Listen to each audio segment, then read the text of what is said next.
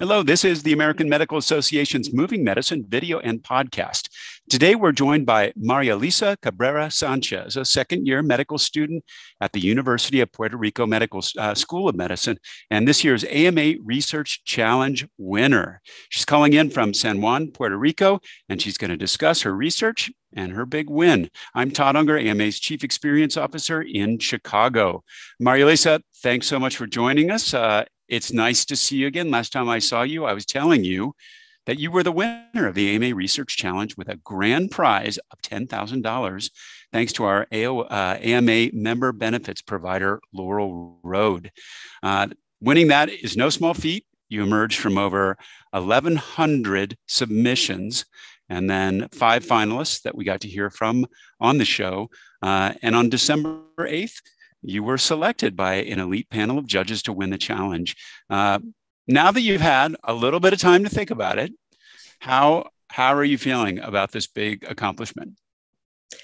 I am still excited, like if it were last week. yeah, I'm still digesting the news. So was that uh, you know so many people that worked on this with you? Were they equally excited? Uh, you know, that's got to be a, that's a big win. Yeah, they were very excited. So I had a few people watching the competition, and two of them were my mentors, Dr. Timothy Murphy and Dr. Hervé Tettelin. And after watching the finals, we had to do a Zoom call.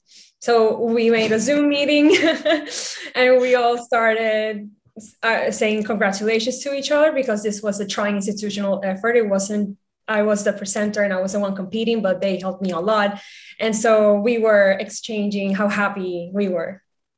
That's excellent. Well, congratulations again to you and the entire team, all the folks that worked and supported you in that. Why don't you just, in the briefest of uh, kind of descriptions, tell us a little bit about what your research was? Yes. So my research was looking into Moraxella catarrhalis, which is a bacteria that can persist in the airways of COPD patients. And while it is living there, it can cause inflammation and progressive decline in lung function. And so we were asking, okay, how is this bacteria persisting? How is it adapting? And we hypothesized that it was changing its genome. And so, using a variety of bioinformatic tools, we decided to look at the genomes of more than 150 isolates of M. cat, which is a lot of data if you think about it. And we were seeing what were the alterations that were occurring. And we were able to identify specifically which genes and which mutations were occurring. And this is super important when developing vaccines and trying to look for a way to help patients with copd so what, what do you see as the kind of implications and how will that research influence medicine in the future? Yeah, so it definitely is important because when we are looking for ways of designing therapeutics and also vaccines, you need to know what is happening with these pathogens where that you are designing a vaccine to combat um, you need to know what is happening at a molecular level. And so that is where my project comes in. It shows a light as to what it is what is happening and which antigens should we take into consideration when designing a vaccine and therefore helping copd patients. One of the things that i thought was very interesting is you said in your presentation that you hadn't done this kind of research before at least in the methodology. Who taught you how to do it Dr. Hervé Tettelin was the one to help me with that. Yeah, so initially I started this project as part of a summer internship with Dr. Timothy Murphy, who is the person that does a lot of COPD research and works with several bacteria, including Moraxella catarrhalis. But Dr. Hervé Tettelin comes in because he is the expert in bacterial genomics. He is the one that works with bioinformatics. And so I collaborated with him on a daily basis. He is the one that showed me how to use all of the programs that I was using with bioinformatics. And I got to tell you, I had to I had to jump through several hoops in order to get to the findings that I discovered. But thanks to the amazing mentorship that I had and for his patience, we were able to make these discoveries. What was the biggest hoop you had to jump through? What was the big challenge of this research?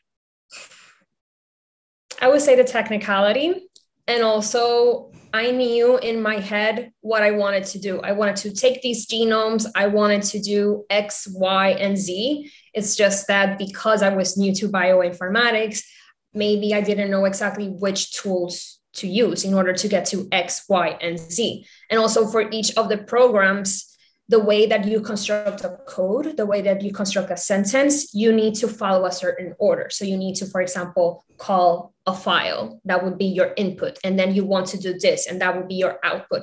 And all of those things happen in a specific order. And for each of those programs, it is different. So that's like those specifics and that technicality was my main challenge.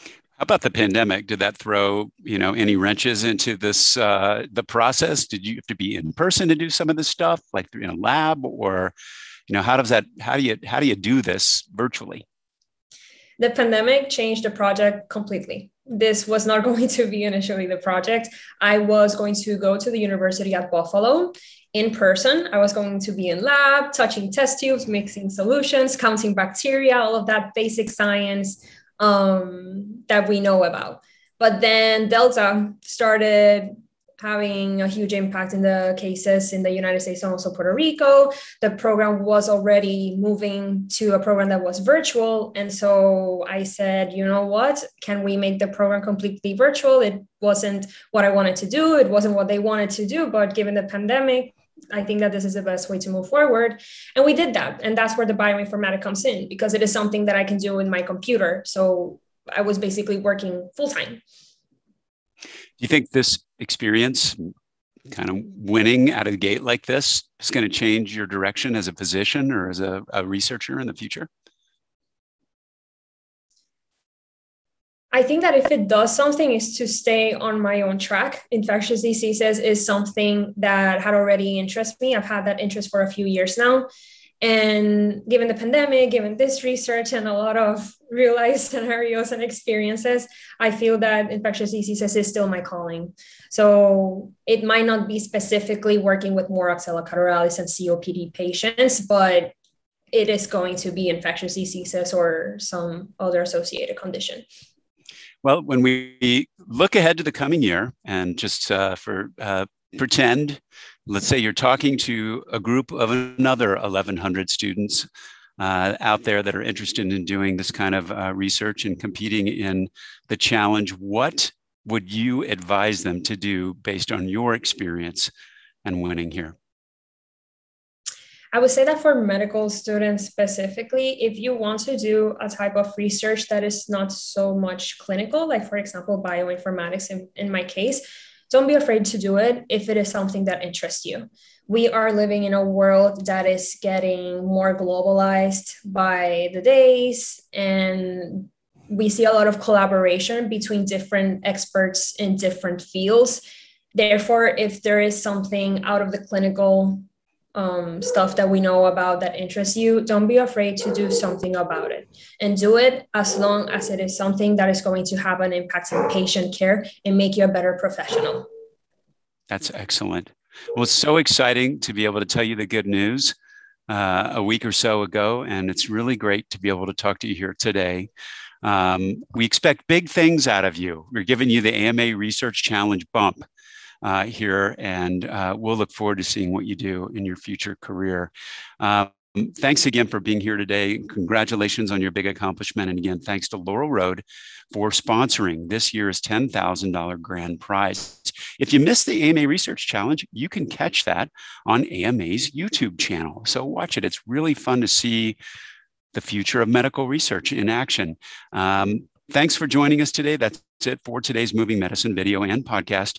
Just remember to click subscribe on our YouTube channel or wherever you listen to your favorite podcast, Apple, Spotify, wherever that might be. You can find all our videos and, and podcasts at ama-assn.org slash podcasts.